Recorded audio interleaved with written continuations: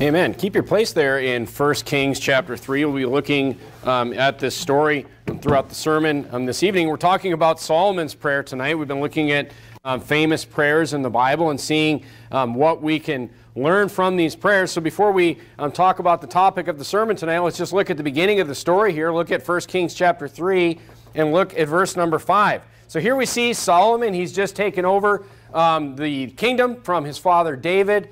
And we see Solomon has a, um, you know, has a, has a dream where the Lord appears to him at night. Look at verse number 5. It says, In Gibeon, the Lord appeared to Solomon in a dream by night, and God said, Ask what I shall give thee. So here, you know, God basically comes to Solomon in a dream, and he says, What do you want?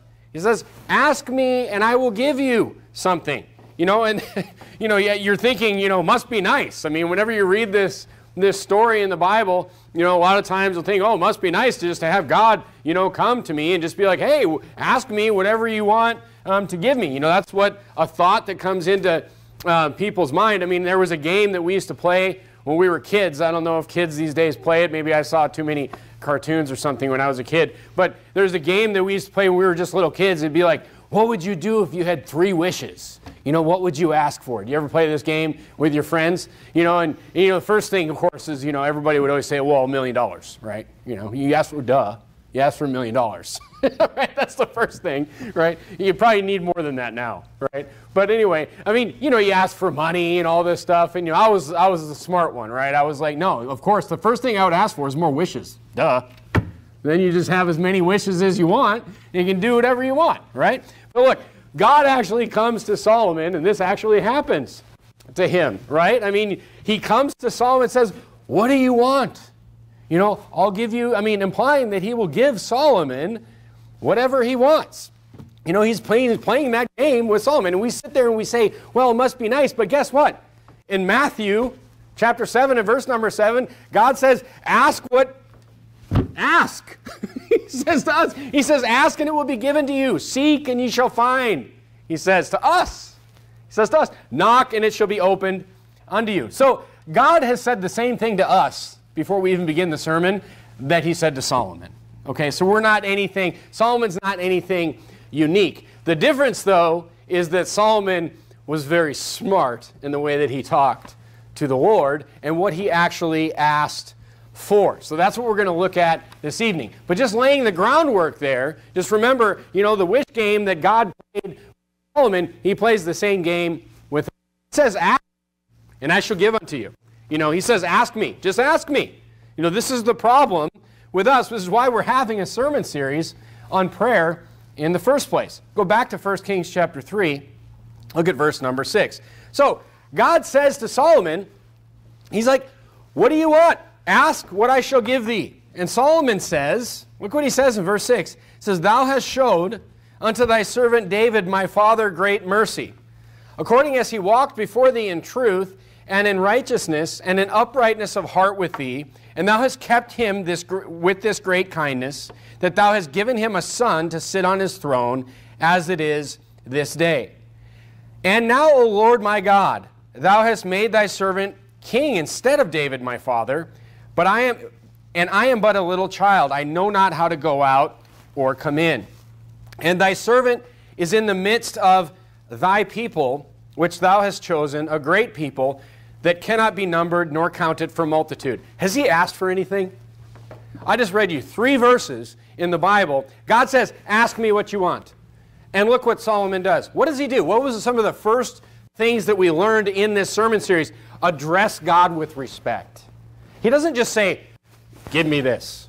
He goes and he addresses God with respect. He, he tells God, You're a God of great mercy. You've been great to my father. And then look what he says in verse number 8. He says it twice. He says it in verse number 8, and he says it in verse number 9. He's the king. Think about this for a second. He's the king of the nation right now. Solomon is the king, and he says, In the midst of who? He says, In the midst of thy people. He literally addresses the nation that he rules over as God's people. He acknowledges to God, these are your people. And in verse number seven, he's like, I am nothing. He says, I'm just a little kid. I'm just a little child. He's like, How am I supposed to rule your people? He says to God. He's getting great respect to God. He's asked for nothing at this point. Look at verse number 12. Behold, I have done, I'm sorry, verse number 9. Therefore, give thy servant, and how does he address himself? Give this powerful king of this nation. He says, Give thy servant. He's like, Lord, I'm your servant. Just listen to how he speaks to the Lord. Listen to how he comes to God here. Give thy servant an understanding heart to judge who? Again, thy people. He's saying to God, that means your. He's saying, God, help me rule your people. Not, not my people, not my kingdom. He's not claiming, look, what, do we, what have we learned from all these men and all these women? You, you give credit to the Lord. You give credit to where credit is due. Daniel, same thing. He was very good at just giving all glory and all credit to God all the time. And, he's, and, and Solomon is doing that here. I mean, this is, a, this is a pretty smart little kid right here. Okay, this is a pretty smart young man. Then I, he, so he says, Give thy servant an understanding heart to judge thy people. Now he, he asks, he makes the ask in verse number 9. He says, Give thy servant an understanding heart to judge thy people, that I may discern between good and bad. For who is able to judge this thy so great a people? He asks for something that will benefit something that belongs to the Lord. You see that, what he does? He doesn't ask for anything for himself. He asks for something that will help what? What was another philosophy that we learned? How is your prayer? How is the thing that you are going to ask for? How does that benefit God's kingdom on earth? That we learned, didn't we learn that a couple sermons ago? How does it benefit? You should probably try to make that case. And look, if it doesn't, you just can't think of anything, well, you know, maybe we have a problem here. But look at what Solomon does. He says, Give me an understanding heart so I can judge. He's not saying, you know, I mean, judge. Everyone's like, oh, don't judge. He's saying, so I can like rule properly, is what he's saying. So I can rule fairly these people. Look at verse number 10. And the speech pleased the Lord that Solomon had asked this thing. In verse number 11, he says, And God said unto him, This is, this is the school kids playing the wish game right here. God's like, I figured you were going to ask me these things. Because thou had asked this thing and hast asked not for thyself. You know, what were the, what were the wishes that the kids play in the, in the playground? They're like, I want to live forever, right? I want to have a million dollars. You know, I want to be the most powerful person in the world. Those were the answers that the school kids gave. And that's what God said he was expecting right here. He said, And hast not asked for thyself a long life, neither hast asked riches for thyself, nor had asked the life of thine enemies, you know, just this big, to be this big, powerful ruler, but hast asked for thyself understanding to discern judgment. He literally, instead, God was so pleased because he literally just asked for help with God's kingdom on earth. That's what Solomon asked for. So we see, I mean, we see, before we get started here, we see the exact pattern that we've been talking about throughout these prayers. Just the respect given to the Lord. We see that he went and he made a case. He made a case. Not only did he make a case, he just asked directly for something that would directly benefit the Lord. So this is a very good prayer. Look at verse number 12. How does God respond to it? Is God going to grant this? Is he going to say, okay? He's like, you know, what does he do? Look at verse 12. He says, Behold, I have done according to thy words. He says, Yes, I'm going to give you that. Lo, I have given thee a wise and understanding heart, so that there is none like thee before thee. So he, he goes, God goes further now. God goes further. He doesn't just say, Yes, I'm going to give you good judgment. Have a nice day. Good luck. He says, I have given thee a wise and understanding heart. That's what he asked for. But so that there was none like thee before thee. Neither after thee shall any arise like unto thee. He says, I've, I've given you the wisest judgment that has ever been before or ever will follow after. Look at verse 13. And I also giveth thee that which thou hast not asked, both riches and honor, so that sh- there shall not be any among the kings like unto thee all thy days. Verse 14. And, now this is super important right here, verse 14. And if thou wilt walk in my ways, to keep my statutes and my commandments, as thy father David did walk, then I will lengthen thy days. So, it's kind of like it's kind of like the covenant with the land with Israel right here. He says in verse number 12 and verse number 13, he's like, I'm going to grant you what you asked for, plus all this other stuff that you didn't ask for, as long as you obey me. Because, I mean, how long could your days be according to the Lord? What did, you know, what did we find out today? Some kids told us today our days could be tomorrow. That's it. Your days could be over now. Your days could be over today. So this all had, you know, this was a contract. God says, if you obey me, you know, this is what I'm going to give you. So basically he says yes to Solomon's prayer, plus all this extra stuff, as long as there's obedience that comes with it. So we're going to talk tonight about things that you should pray for. Things that you should pray for that God will answer positively. I mean, don't we want to pray? I mean, who wouldn't want to say that, you know, when I pray, God says yes? You know, when I pray for something, God answers me in a positive way. Who wouldn't want to say that? So we're going to look tonight using Solomon's example, especially um, the first part of his prayer, and then verse number 14 from the Lord. We're going to look, because look, James chapter 4 says, if we ask, but, we, but it's not answered right, we ask amiss. That's why. So if God doesn't answer our prayers in a positive way, it's because we're asking for the wrong things. Right. So we want to ask for the right things. Look, prayer is very simple. The answers to our prayer are yes, no, or not now, or, or wait. Okay, so if the prayer is no, if we're asking for something and it's just no, we're not asking for the right things. God's actually doing us a favor right. by not, you know, by not letting us hurt ourselves. Okay? So let's look at some things that we should pray for tonight. So, I mean, who wants to waste God's time? You know, praying for a bunch of things we shouldn't be praying for. Who wants to waste our own time? Solomon asked for a very smart thing here, and we should ask for things that are good for us spiritually and good for God. Okay? And then God will answer in that same positive tone that he answered Solomon. Because look, God gave us in Matthew chapter 7, he gave us the same just ask me that he gives to Solomon in 1 Kings chapter 3. Okay, so let's have that, that same mentality of what to ask for that Solomon had. So, what is the first thing? So, here's the first thing. I'm, let's, let's just look at the things that Solomon specifically asked for. Okay, a lot of people think that Solomon asked for wisdom. He didn't ask for wisdom. Okay, let me just give you two things specifically, and then I'll kind of give you a methodology of how to ask for right things in your life. The first thing that you should ask for in your life is this good judgment. You should ask for good judgment in your life. Sometimes I think that this is maybe all the Christian needs right here, is just good judgment. And Solomon didn't ask for wisdom. You hear people misquote this story all the time. That Solomon asked for wisdom. He didn't ask for wisdom, he asked for judgment.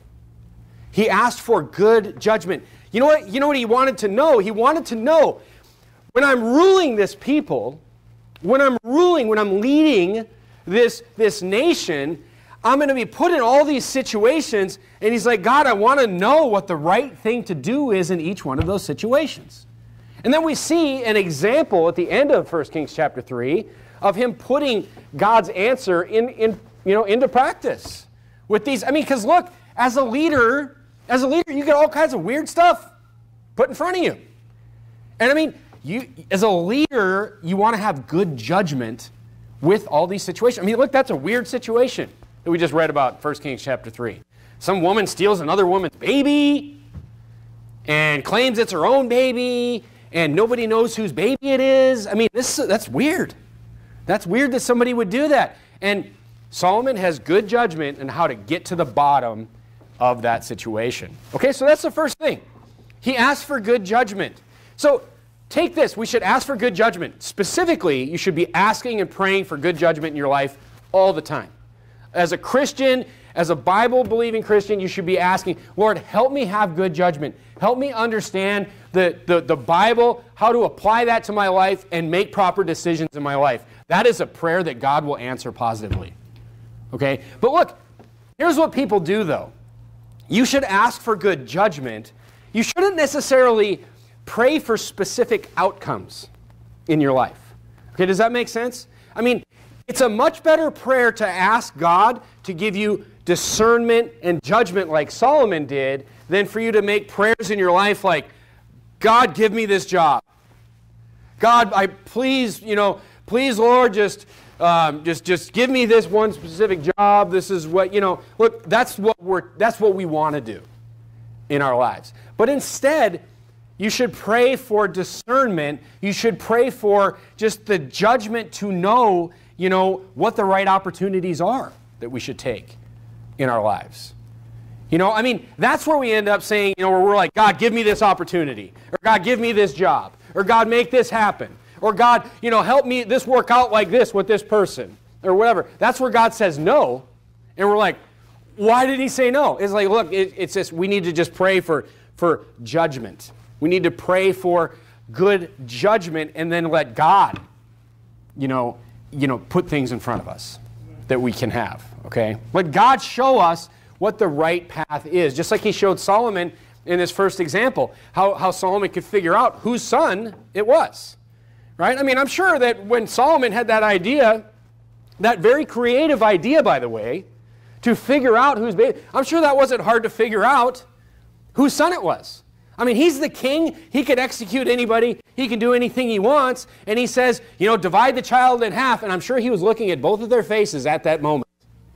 And I'm sure at that moment it was very easy to see the horror on the, mo- the real mother's face in that situation. So, look, a better prayer is to God, give us judgment, give us a discerning heart, as Solomon asked for. Help me, God, help me to know what is right. I mean, you're in a difficult position in your life. Something's going on. There's that you can go this way or you can go that way. God, help me to discern what's right. Not God, help me go this way. Because we don't know. His way is higher than our ways. God, use your higher ways to help me discern which way I should go. Guide me in your wisdom, not my own, is a prayer that we should use. Look, there's going to be all kinds of important decisions in all of our lives. You know, where, I mean, it's not just where to work, it's, it's where to live, where, you know, how, raising kids. Just we need, we're going to be put in all kinds of weird situations outside of church, inside of church. We just need to be praying for judgment.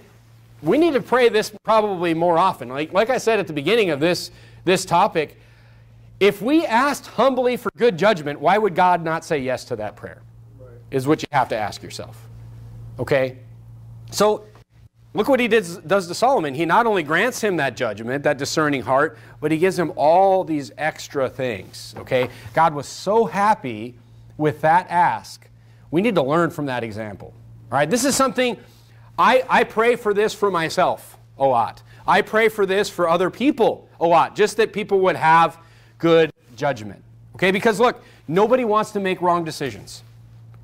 Nobody wants to make wrong decisions in your life. Look, men men especially, men leading families, the leader, your decisions, your decisions, they affect other people other than just yourself. You know, I mean, it's been said that, that everything rises and falls on leadership. That is so true. But everybody likes to look at the rises part of that.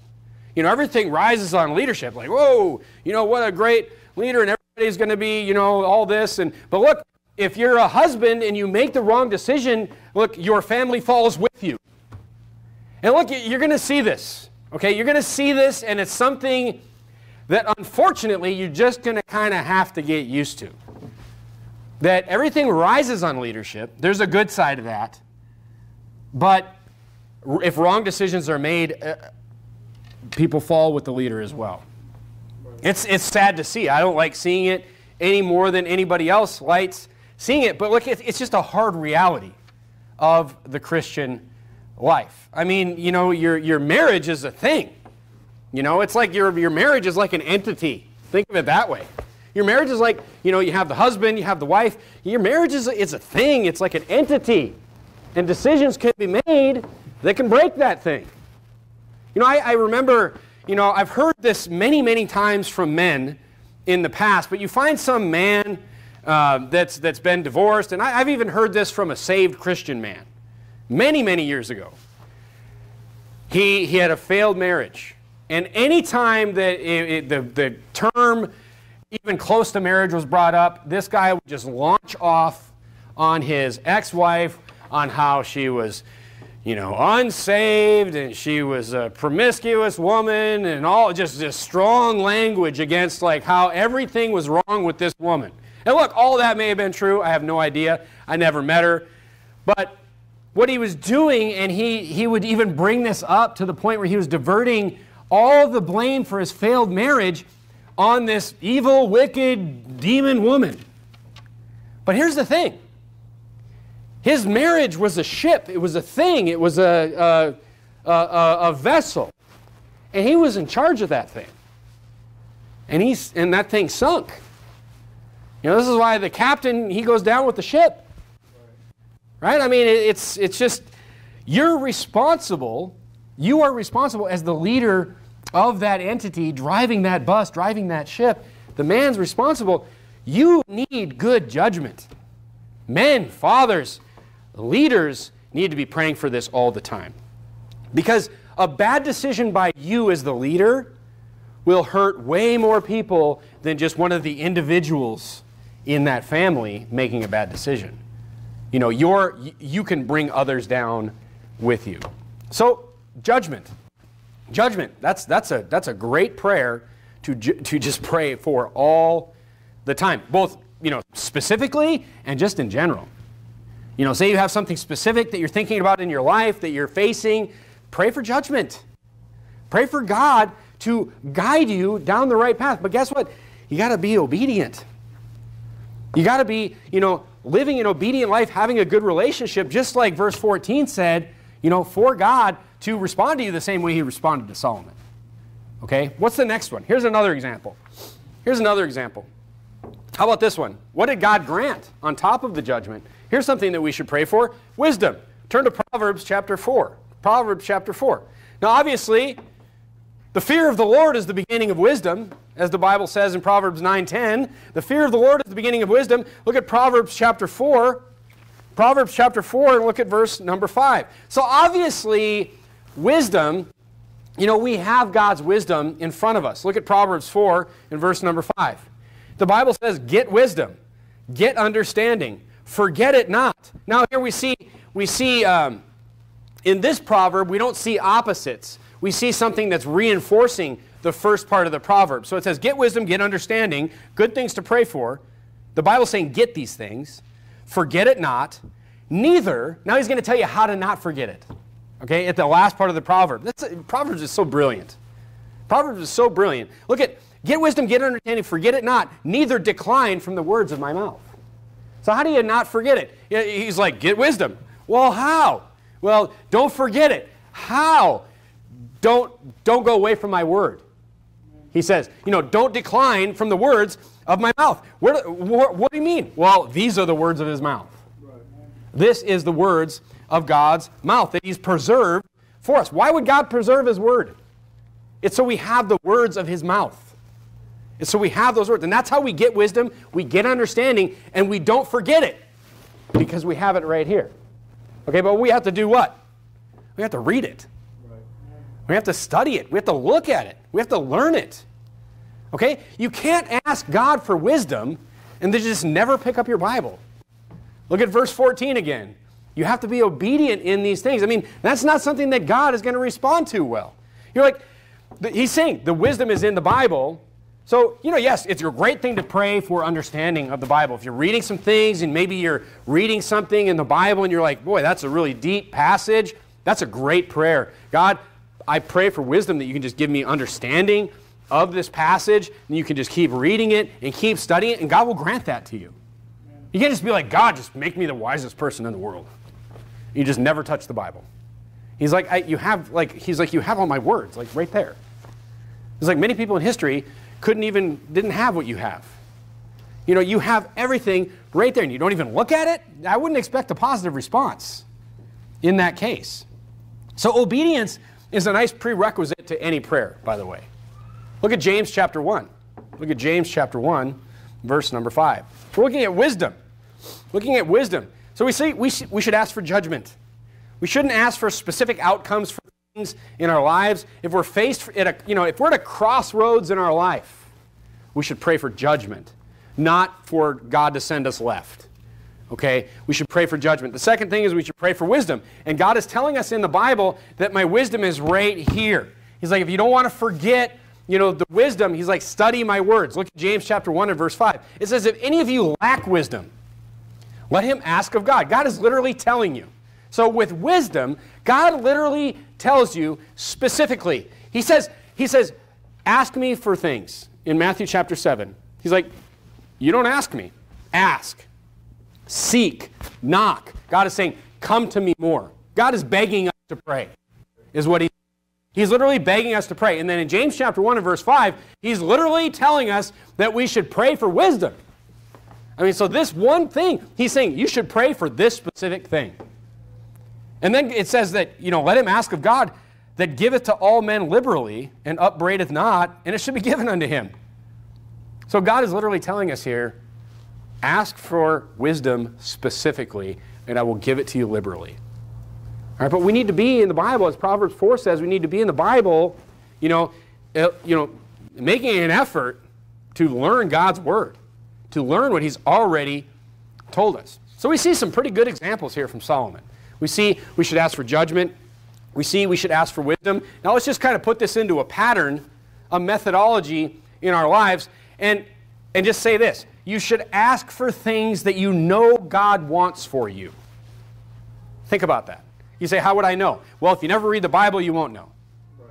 So when you read the Bible, what you will find in the Bible is you will find things that God wants for you. And not only will you find the things that God wants for you, He gives you very specific directions on how to obtain those things in the Bible. You know, I mean, just a couple examples. I mean, like a strong marriage. We just talked about that, right? Turn to 1 Peter chapter 3. 1 Peter chapter 3. You know, I mean, but the first thing you need to do, you say, uh, okay, I should pray for a strong marriage. But the first thing you have to do is be obedient to what the Bible says you should do to get a strong marriage. Be obedient. Verse 14. Remember? God says, if you obey me, you know, you'll live long in this situation that I'm going to put you in. So, look, you can't be, you can't ask, just pray for a strong, God, just help me have a strong marriage, and then, you know, be this guy that just doesn't love your wife. That just doesn't, you know, show sacrificial, I mean, real, I mean, like the real definition of love, not what the world tells us. Okay? This sacrificial love that the Bible says we should have for our wives. You know, you can't be, ladies, you can't be are you at 1 Peter? Turn to 1 Peter chapter 3. 1 Peter chapter 3. Let me turn there myself. So, ladies, you can't ask for a strong marriage and then, you know, just be like, just not submit to your husband. Just not obey your husband. You just be like, you know, I'm not going to do that part though. it's just, it's not going to work. Obedience must be a prerequisite. Look at 1 Peter chapter 3 Look at verse number, I mean, look at verse number one. Likewise, ye wives, be in subjection to your own husband. So you can't be a wife that's like, God, my marriage is a mess and I want you to fix my marriage. And then you're just like, you're just like running over your husband and you refuse to submit to him and you just refuse to let him lead your home and you're not listening to what the Bible says. At least it's not going to work out. It's not going to work out. Look at verse number seven. Men, it's really interesting that God actually ties this to prayer with the men. Look at verse number 7. It says, Likewise, ye husbands, dwell with them according to knowledge, giving honor unto the wife as unto the weaker vessel, and as being heirs together of the grace of life, that what? That your prayers be not hindered.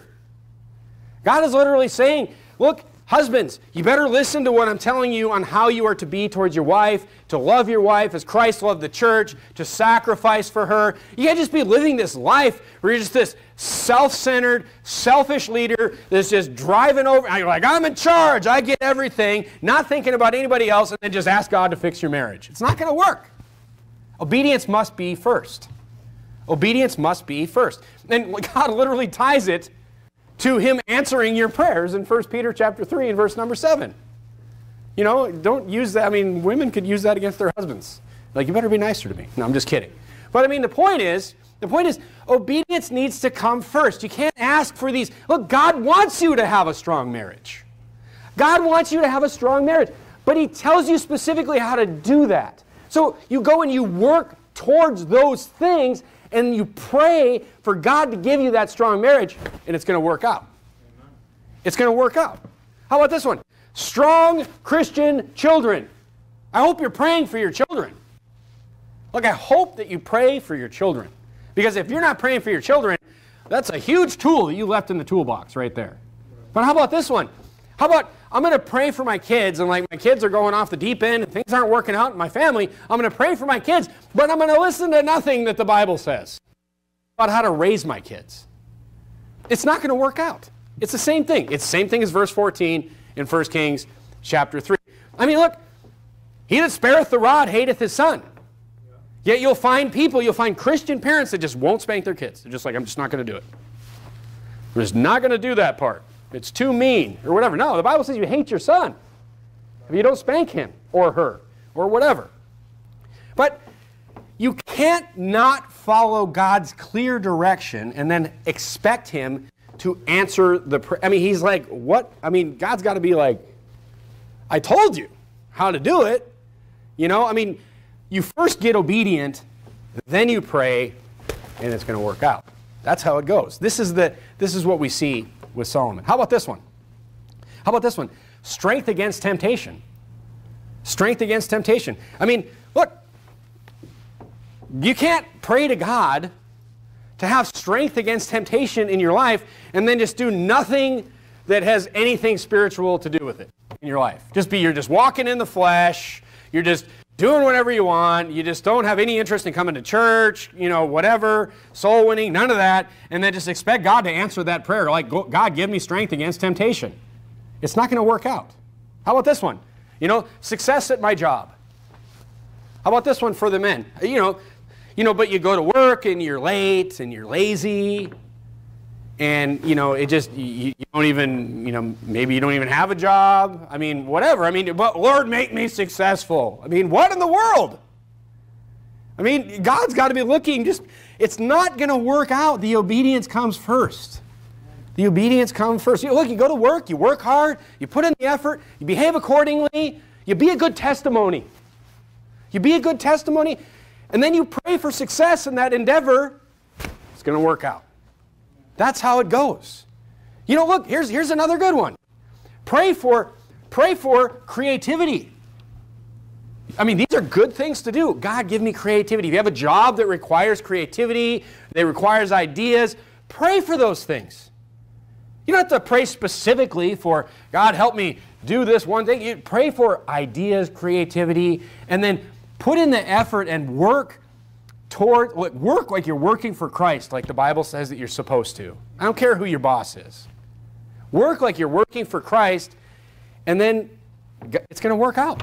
Because guess what? God wants those things for you. God wants you to be successful. I mean, you're starting a new job, maybe you're learning new things. Pray for understanding. Look, it's maddening starting a new job or learning a new trade or whatever. I get it.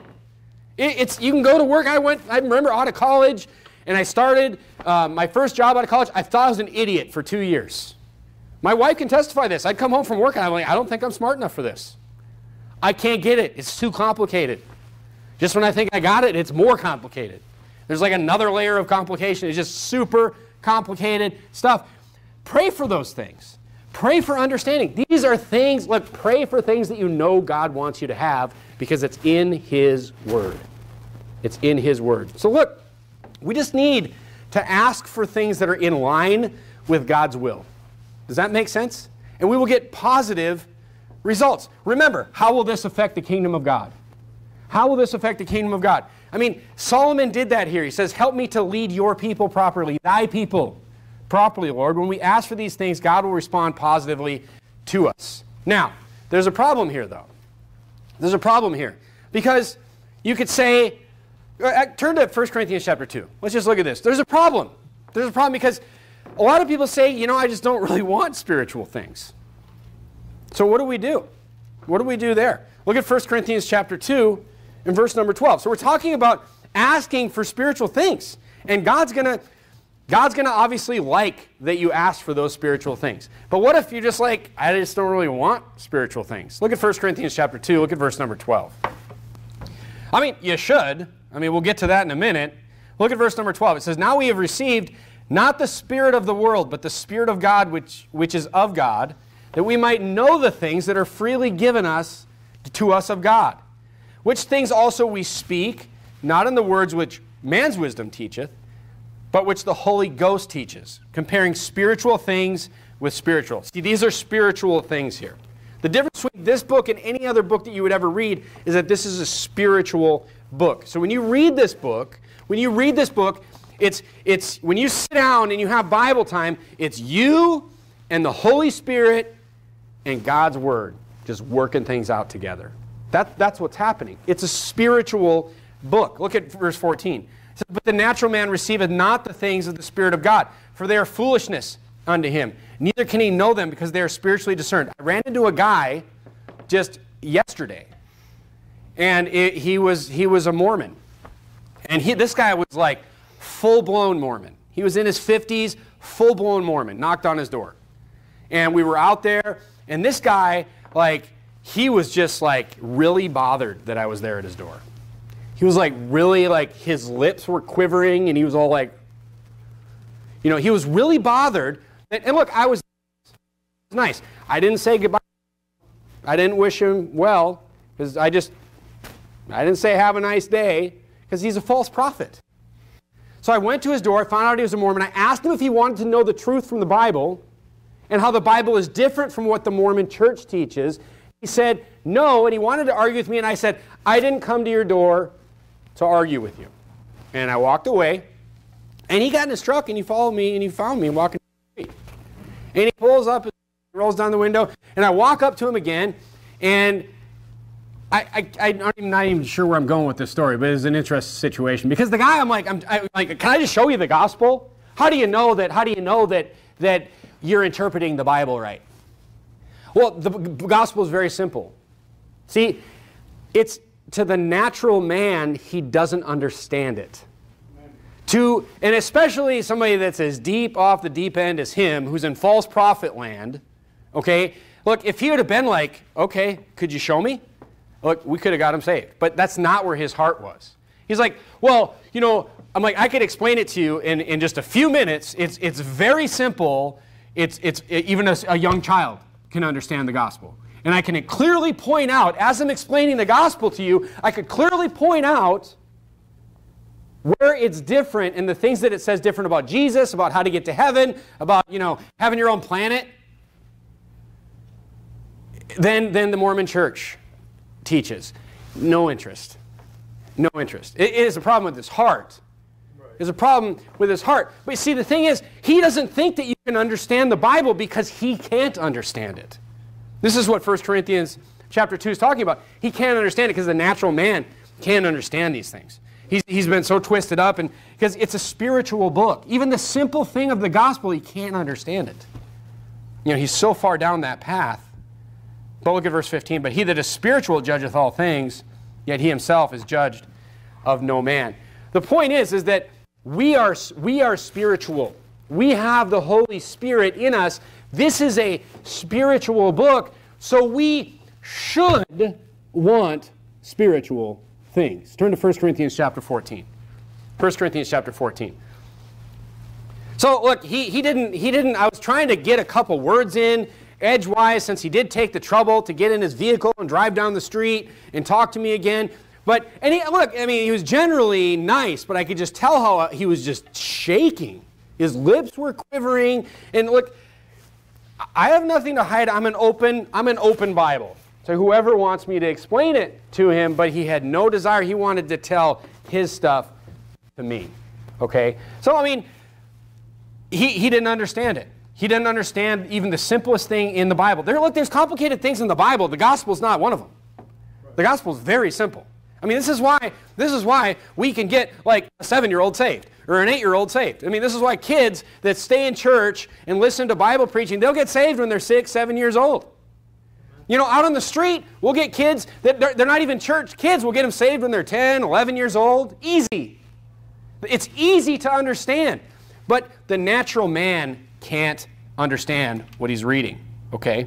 If people let us explain it to them, let us preach it to them, we can get them saved. Look at 1 Corinthians chapter 14.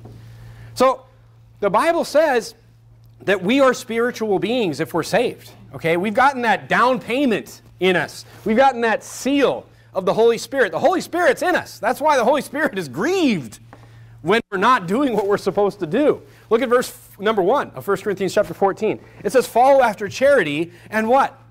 And desire spiritual gifts.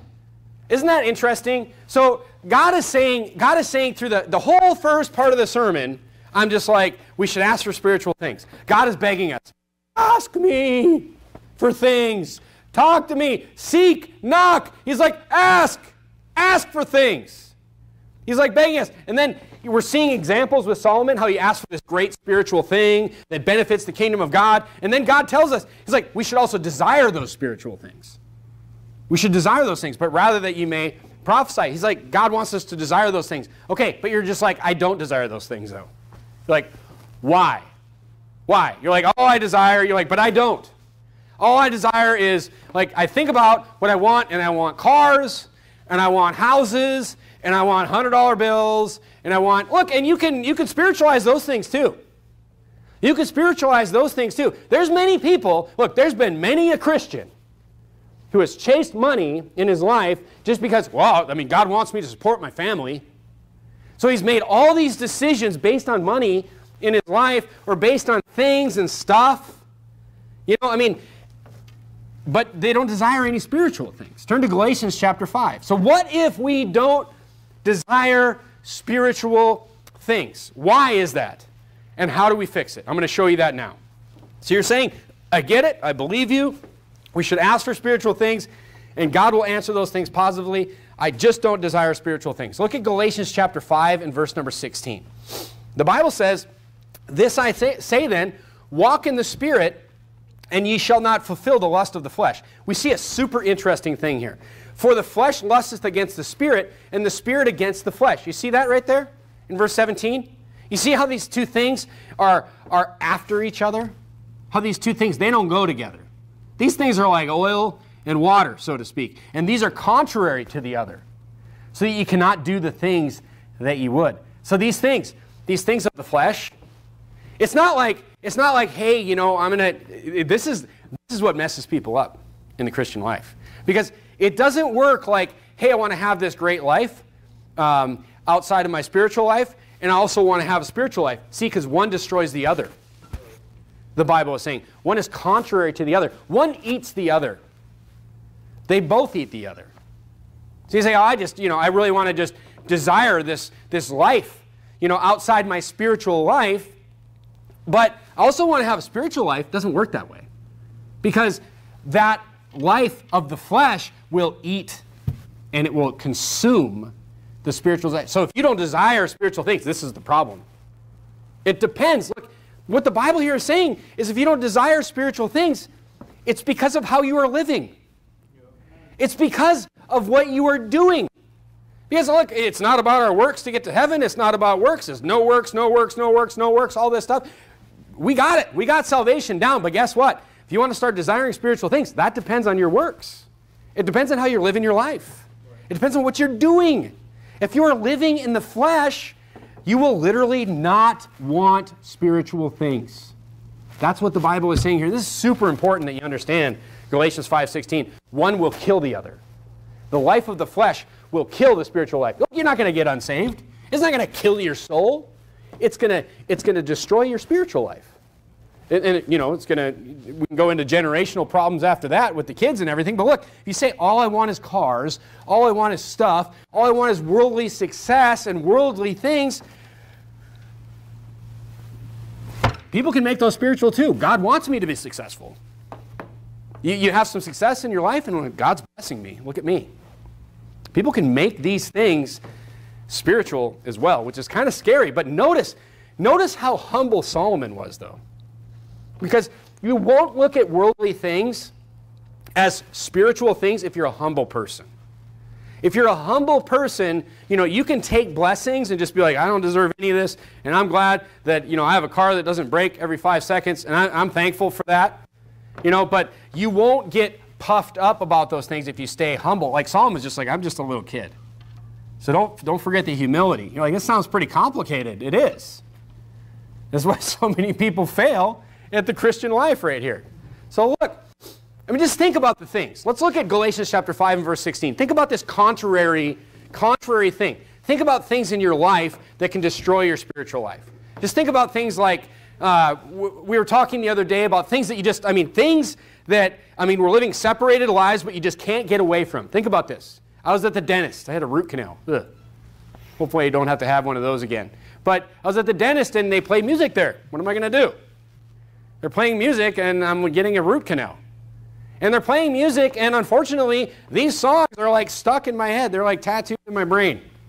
It's like I can remember the words to most of these songs. But guess what? If you just immerse yourself in that music and you just go that way to that music, guess what? You know what? It's not that, you know, what I used to say. Here's what I used to say before I was saved. Ah, I just like the tune. I just like the tune. I just like the, you know, the, the harmonies and all that kind of stuff. But, you know, it's much worse than that because not only are you listening to that music, but like, what, what are the words of that music? And when you start listening to the words, you're just like, ah, as a, as a Christian. It's crazy. You know, the words in these songs. But you know what that'll do? It's not just that you're filling your head with that stuff. It's not just that you're filling your head with that material. You know what it'll do? It'll kill your desire to hear hymns. It'll kill your desire to hear spiritual songs. It, it's crazy, but that's what it'll do. Because that's what Galatians 5.16, look, Galatians 5.16 is telling you that's what's going to happen. If you listen to all this worldly music, it's like it will take away your desire for spiritual music. So you can't be like, oh, I just like to have my worldly music on the side, but I also like to sing hymns. It doesn't work that way. One eats the other. One eats the other. But you start getting into spiritual hymns and listening to spiritual music and, and, just like it just opens up a joy in your life. But if you go down those roads, it eats your spiritual life. Think about other things. Just think about other influences. Think about like media and movies. Think about, think about that. I mean, I don't, I don't know what the last numbers I looked at. Like some people are watching TV like seven, eight hours a day. I don't even know how you can fit all that in. But people are watching all these movies, watching all this media on TV. I mean, first of all, I mean, forget the fact that you're just wasting your life. But what is the content? What is the content that you're filling yourself with. You wonder why people are accepting of every unnatural perversion that we could possibly think of today. And it's because they're feeding themselves with seven, eight hours a day of garbage. But you know what? You know what it'll also do? It will rob you of your desire to read. It'll rob you of your desire to, because like watching things is lazy. Watching things you're just receiving, you're just like, you know, it, but, but reading, you got to actually think. You got to actually put some effort into reading. Guess what? It'll rob your desire to read, especially the Bible. Like, oh man, now it's much more serious because the non spiritual, the flesh, will eat your spiritual life. That's what Galatians chapter 5 is talking about. So, I mean, just, I mean, those are just a couple examples. I mean, you just have to ask yourself. You just have to ask yourself tonight do you enjoy spiritual things in your life? You know, do you? I mean, think about it. Just church. I mean, you know, soul winning. Look, here's the thing. I love soul winning. I'm not going to tell you that every single time I go out soul winning, I'm feeling the greatest. Everybody gets sick or doesn't feel well or whatever. But in general, I love soul winning. It is like the best adventure. There's always exciting things happening. We didn't get, me and my partner didn't get anybody saved today, but we ended up just in the best conversation. You know, and then, and then this like adventure happened over across the street with the ladies. Let me, let me just, I'll tell you about an adventure right now. Here's the power of women soul winning, by the way. So all the ladies, here's the power of you out soul winning. We pull up to go soul winning today, and immediately there's three kids right on the sidewalk, right where we parked the car. And these kids are like from 11 to 14 years old, at my best guess. And I walk up to these kids, and I walk up and I give them some church invitations. I'm kind of, you know, feeling out if they'll listen or not. And right away, they're kind of like, all right, strange guy talking to me. Strange. And what, likewise, they should be. You know? So I go up and they don't really want to talk. I give them some church invitations. But then I walk across the street with my soul winning partner, Brother Victor, and Brother Victor starts giving the gospel in Spanish to this guy. And I notice these kids, they're just like locked on us. And they're watching us for like 10 minutes. So I send, I send Jacob across the street to like tell the ladies, hey, make sure that the ladies talk to those, those kids. Because guess what? the ladies, especially, you know, young ladies and, you know, well-dressed ladies walking down the street in a bunch of dresses, you know, just like, that's like the least intimidating thing. There, people look at that and they're just like, there can be nothing but good here. And guess what? The ladies end up giving the gospel to like five kids. And they wouldn't talk to, you know, a guy, which is, which is great. But here's the thing. It's just a great adventure out soul winning. Something cool happens all the time. And why? Because it's God working with us. Right. That's why. It's God working with us. We're out there doing things, and just these great miracles happen all the time. These, these divine appointments happen all the time. So, I mean, that's just, I mean, do you love doing that? Do you like coming to church? These are tests. You need to give yourself these tests every now and then. You know, here's the importance, by the way, here's an, here's an important thing of like Bible, daily Bible time, daily prayer time, daily Bible time. It's so important to have that daily time with the Bible, with the Lord when you're praying, because, you know, obviously we should learn the Bible. We should be reading the Bible. I mean, so that's the first benefit. But the first thing, the next thing is this it's kind of like a line of defense. It's kind of like a first line of defense in your life. All of a sudden, starts happening in your life, just like you start skipping Bible time. You start skipping that personal time that you have with the Lord. You start not doing that as much anymore. That should set off red flags in your head. Something's not right here. Maybe, hey, maybe you just got busy. Maybe there's a, a crazy day or two at work or whatever happened, and all of a sudden you just kind of maybe got into something else and you start skipping that time. It's kind of a first sign of trouble in your life. Because let me tell you something, you don't want to get to the point where like you don't like coming to church. You don't want to get to the point where you're like, uh, man, I got to go to church because pastor says I should go to church three times a week. Boy, I hope that you're never, you know, nobody gets to that point. I mean, look, I love if you come to church every single time the church doors are open. I love that. But you shouldn't be coming here for me. You shouldn't be coming here, you know, to make me happy. I'm just here to tell you what the Bible says, and, and you know, you should come, you know, you should go soul winning out of obedience. That's the first reason I go soul winning. And but look, I really enjoy it. Even when it's 105 degrees, on the harder days, even the days, I've even gotten to the point where even the days where I don't really feel right, if I get up and I go and I'm tired or whatever, I'm like, I still, I'm going to go because something good's going to happen.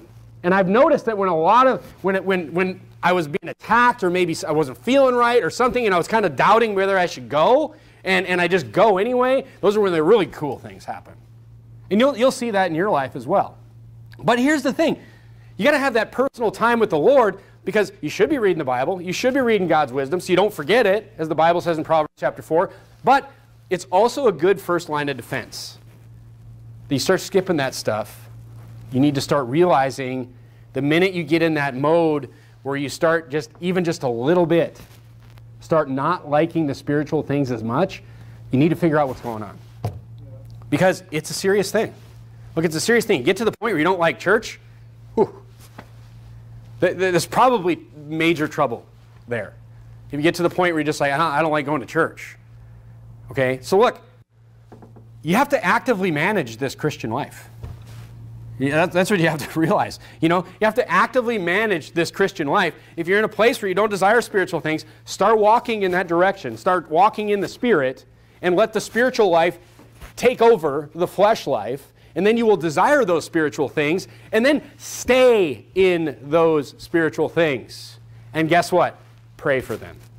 Pray for those spiritual things. And that'll keep you, once you're in the Spirit, you're in that spiritual life, you're walking in that spiritual life, and then you're praying, you're obedient, and then you're praying for that spiritual life, it'll lock you in. It'll hold you in that spiritual life. Because guess what? There's all kinds of stuff trying to pull you away from this spiritual life. There's all kinds of people trying to pull you away. There's all kinds of stuff. There's all kinds of career things, things that could be like pretty tricky stuff. Like, look, God just wants to bless my career. God just wants to bless me financially. God doesn't want me having all this debt, so I just need to work some more. God's given me this opportunity. Look, the devil's putting as many opportunities in front of you as the Lord is. You have to remember that. Anything that goes against your spiritual life is not of the Lord. So get in that spirit. You'll start to want those spiritual things, and then you just have to pray for them. That's it. It's as simple as it is. It's, it's, it's something that we get tripped up on in our lives. And God, look, God will give you these things when, when, you know, look what he gave Solomon. He didn't just say, okay, here's some judgment. He'll give to you liberally. When you're asking for these things correctly, He will give to you liberally, James says. So look, ask for the right things. So what do we see? Let's just recap this whole sermon series in a couple minutes here. What do we see from all these people that we saw praying? From Hezekiah, from Hannah, from Nehemiah, from Solomon. What do we see from these people? We saw that they came to the Lord with respect. It was like, hey, God, can I have this now? They came to the Lord with respect. They gave God credit for everything. They never, they never took a blessing that they didn't just dump the credit on the Lord. They gave the Lord glory for everything. They were super thankful. Hannah, they were super thankful for everything that the Lord did in it. And they were always very careful to put in their prayer what was in it for the Lord, what was in it for the kingdom of God. Because look, I got, I got news for you. Your career doesn't matter.